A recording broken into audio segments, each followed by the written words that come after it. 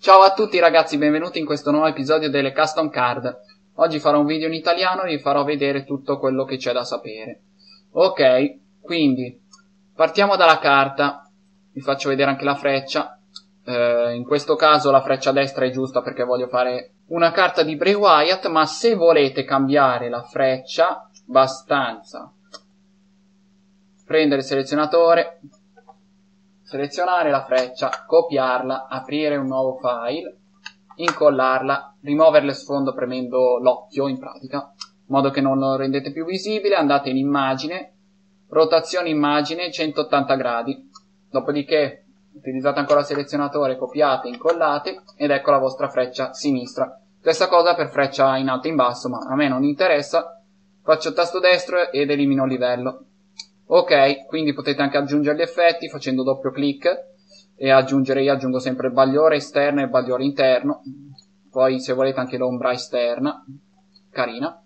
Eh, quindi passiamo alle statistiche, per modificare le statistiche basta fare doppio clic su questo riquadro dove vedete la T e dopo scrivere le statistiche che volete, tipo 4543, la stessa cosa fate lo stesso con le altre, mettete le statistiche che volete, quindi andiamo alla, vabbè, la mossa finale, l'ho già inserita, eppure anche l'aumento la, delle statistiche, forza e carisma. Quindi andiamo nel pro logo. Normalmente dovrebbe essere così. Ecco, esattamente così. Però, se vi piace di più la stella oro, abbastanza selezionare il colore giallo, selezionate lo strumento sostituzione colore, non selezionate lo strumento pennello perché guardate che schifezza fa, CTRL Z per tornare indietro, selezionate lo strumento sostituzione colore in modo che colorate solo nel vostro livello. In più il colore anche migliore non esce quella schifezza. Infatti guardate anche se provassi a colorare qua che cosa esce, mi cancella tutto quello che c'è sotto quindi. Non mi va per niente bene e lo faccio così. Quindi, eh, vabbè, si può anche cambiare il nome del pro, ma bah, non l'ho mai fatto, non ha neanche tanto senso. Poi il nome, inserite il nome, e poi vabbè, qua c'è il background, lo sfondo, composto da tutte queste parti.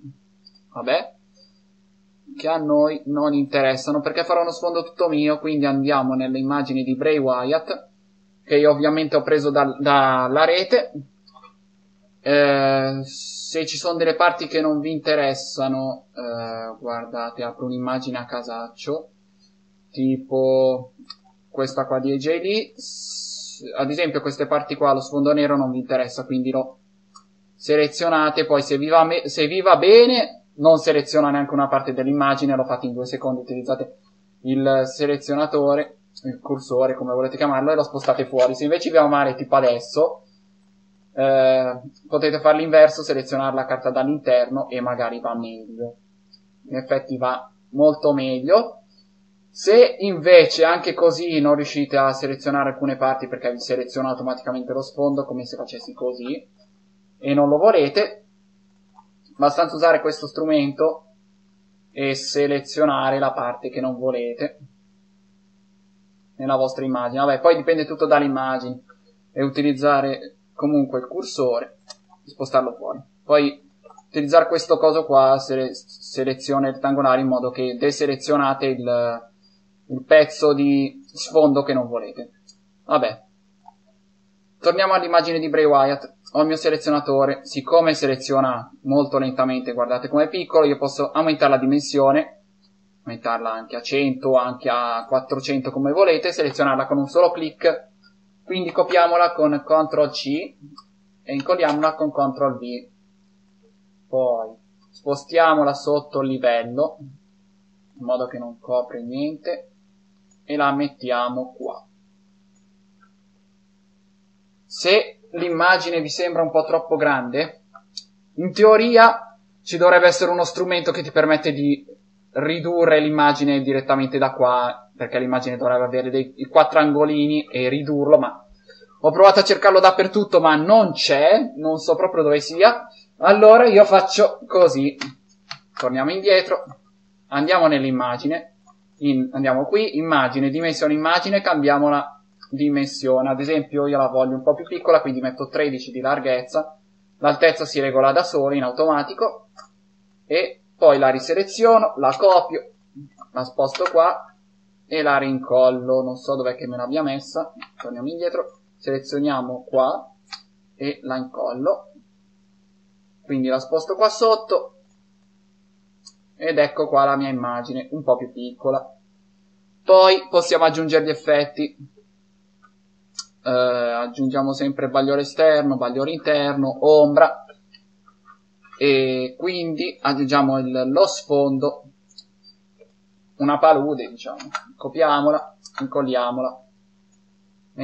Spostiamolo sotto Bray Wyatt in modo che non lo copre e ora spostiamolo un po' la palude per fare un, una carta migliore, diciamo. Uno sfondo migliore. Poi ovviamente potete anche rimpicciolirlo, ingrandirlo a vostro piacimento. Vabbè, così è abbastanza carino.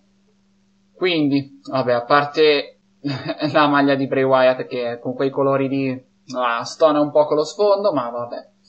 Quindi coloriamo la carta, passiamo a colorare. Selezioniamo il layer, quindi utilizziamo questo strumento contagocce perché se io voglio un colore simile a quello del mio sfondo utilizzo il contagocce prendo prelevo il colore so che è questo colore quindi utilizzo il pennello quello di sostituzione colore come sempre e posso iniziare a colorare. Ok. Beh diciamo che tra sfondo e carta colore della carta sono simili infatti di solito tendo a farli un po' diversi. Faccio lo sfondo un po' più scuro oppure coloro la carta con un colore un po' più scuro eccetera. Beh per esempio se io lo faccio così forse viene un po' meglio ingrandiamo lo strumento viene un po' più sul nero grigio però aumentiamolo ancora un po' di più vediamo cosa esce beh simile al colore normale della carta però almeno è un po' più diverso dal, dallo sfondo e risulta molto più bello. Se invece io provo a prendere questo colore qua, mi sa che mi esce grigio. No, aspetta, ho sbagliato. Strumento sostituzione colore e infatti mi esce grigio. E non lo voglio così, quindi preferisco come era prima. Torno un po' indietro. Non so neanche di quanto. Prendiamo magari questo di qua che è un po' più scuro di questo No, in realtà è un po' più chiaro. Ok, lasciamolo così. Ah, quindi possiamo anche colorare la barra di livello abbastanza andare. Uh, statistiche, livello e colorarlo come lo vogliamo, magari un po' più chiaro. Così un po' troppo direi. Vabbè, magari... No, secondo, ho sbagliato, cacchio. Vabbè, lasciamolo così. Poi possiamo anche colorare delle altre parti delle carte, prendendo sempre più o meno questo colore. Ecco, così è già un po' meglio. Coloriamolo così. Ok, e possiamo colorare altre parti. Quindi diminuiamo la dimensione, non uno magari, perché sennò ci mettiamo 3000 anni. E coloriamo, non so, questa parte qua, no, devo prima selezionarla, è vero? No, poi questa qua non va bene perché è troppo vicino al livello, quindi coloriamo per esempio questa parte qua, poi magari coloriamo questa striscia qua e anche questa qua qua in basso. Come mi è solito fare, coloro sempre queste parti ed escono sempre belle le carte. Uh, quasi sempre. Poi magari coloriamo anche questo angolino se proprio vogliamo.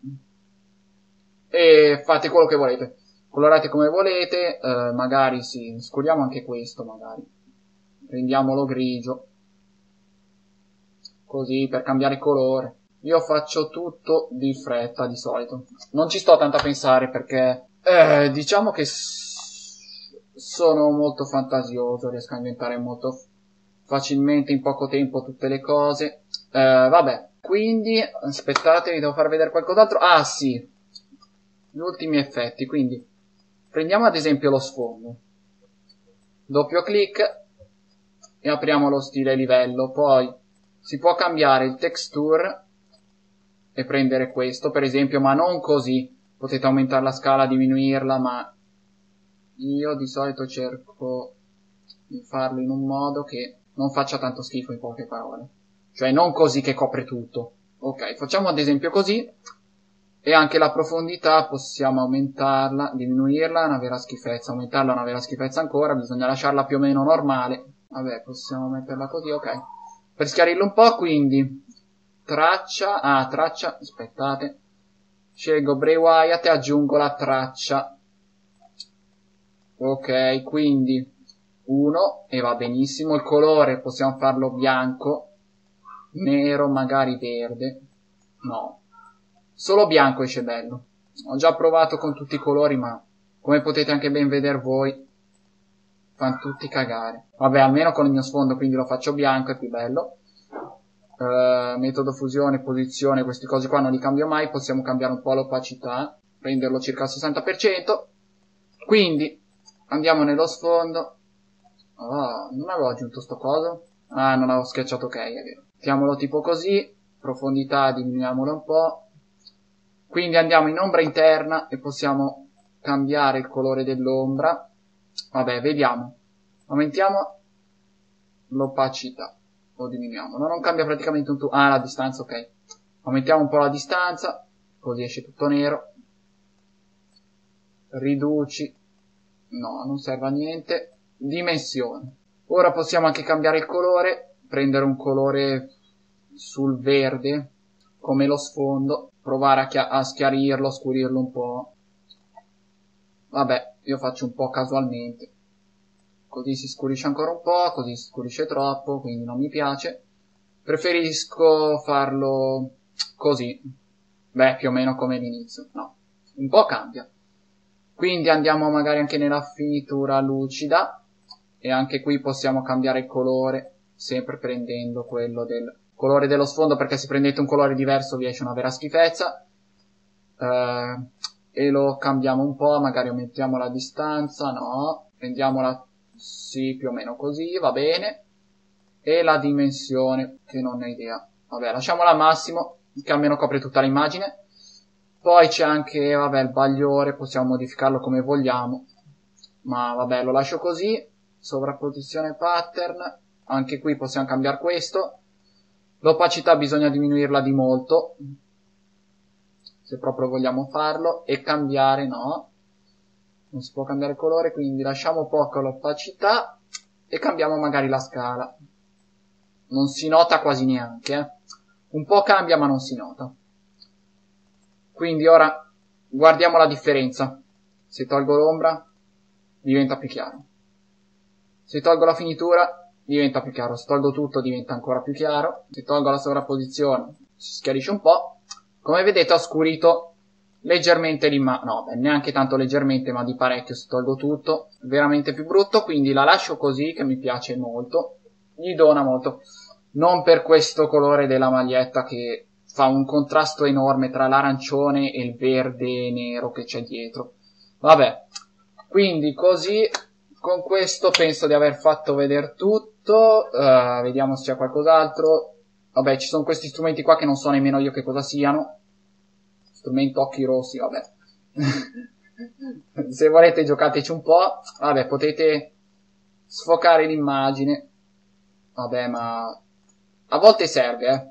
Quando soprattutto lo sfondo non è intero, guardate. Se ad esempio sposto il mio sfondo, aspettate un attimo, prendo questo sfondo di nuovo e lo copio, lo rincollo qua, Vabbè, adesso esce sfalsato, lo so. Vabbè, lasciatelo così. No, sotto. Il mio sfondo principale è questo. Io ad esempio lo abbasso. Facciamo finta che lo sfondo finisce qua e che non copre tutta l'immagine. Andiamo qua, alziamo questo. Per togliere questa linea bisogna andare qua. Sfoca, ingrandiamo, Adesso non credo che si tolga perché c'è l'effetto. Se io tolgo gli effetti, guardate questa linea qua che si nota benissimo. Io vado qui, vado in sfoca e li seleziono un po' sopra. Poi ovviamente una è più scura, l'altra è più chiara, quindi Vabbè, quindi non esce benissimo, ma in teoria se fate così dovrebbe vedersi, no? Perché sto sfocando quella sotto e sono un cretino. Devo sfocare quella sopra, ecco perché. Lo sfoco un po' e come vedete la linea si toglie, a parte qua che vabbè l'ho posizionato male, quindi si nota ancora la differenza tra il nero e il verde, ma se voi guardate qui, se la rimpicciolisco qua, si nota ma già un po' di meno. Quindi torniamo indietro, così, che è molto meglio, vediamo questa cosa. Eh, poi vediamo, c'è lo strumento nitidezza, sfumino che non servono a un tubo quasi. C'è lo strumento scherma che potete, eh, guardate, selezionare ad esempio l'immagine e potete schiarirla, vedete, io posso continuare a cliccare fino all'infinito, invece una roba sempre più chiara, adesso devo tornare parecchie volte indietro, ok, oppure c'è lo strumento brucia, che in pratica lo, lo scurisce, fa l'effetto contrario, o se no c'è lo strumento spugna, che non mi ricordo che cosa sia. Ah, lo fa diventare tipo sul grigio, boh, una roba stranissima, che non uso mai. Poi potete anche aggiungere un altro testo, se volete, scrivere ciao. Cambiate il colore, mettetelo azzurro, almeno si vede, eh, magari se lo, se lo selezionavo tutto. Ciao. Poi lo posso spostare dove voglio. Metto qua. Così a caso. Uh, poi c'è questo coso qua, selezione, tracciato, che non so cosa sia. Come vedete posso selezionare quello che voglio, ma non succede praticamente niente. Vabbè. Uh, poi strumento rettangolo potete aggiungere un rettangolo potete colorarlo come volete ma vabbè non l'ho usato forse una volta o due vabbè vedete questi qua si possono rimpicciolire e che cavolo ho detto? Questi qua si possono rimpicciolire ma non me lo seleziona più. Vabbè in teoria si può rimpicciolire eh, selezionando gli angoli. Non so che cosa abbia fatto ma vabbè. Non mi interessa eh, vabbè tutto il resto non serve a niente. C'è la gomma se volete cancellare lo sfondo, ma ci mettete 3000 anni. Vedete? Per questo io quando devo levare lo sfondo utilizzo il selezionatore oppure quest'altro selezionatore, seleziono una parte, prendo il cursore e lo sposto. Uh, quindi vediamo se c'è qualcos'altro, qua non c'è niente, qua no, no, no. Ci sono questi strumenti qua che non so che cosa siano. Li ho provati una volta ma non li uso mai sfumatura, eccetera, eccetera. Eh, qua invece cos'è che c'è? Tono automatico, contrasto automatico, colore automatico, non servono a niente sti cosi. L'unica cosa che uso sono dimensione, rotazione, immagine e nient'altro. Poi ci sono anche tutte queste robe qua che non ho neanche guardato. Vabbè, prima o poi gli darò un'occhiata, ma finora non mi sono servite e non credo nemmeno che mi serviranno, dato che non so neanche cosa siano. E così con questo direi che abbiamo concluso, vi ho fatto vedere come si ruota la, le frecce, come si colora, come si seleziona, come si cancella lo sfondo. Cavolo, ho cancellato la mia immagine. Eh, vabbè, fa niente. Eh, vi ho fatto vedere tutto quello che c'era da sapere e ora direi che sapete tutto quello che c'è da fare per creare le vostre carte. In bocca al lupo e spero che vi aiuti questo tutorial. Ho fatto un tutorial completo di tutto e ci vediamo nel prossimo episodio. Ciao a tutti!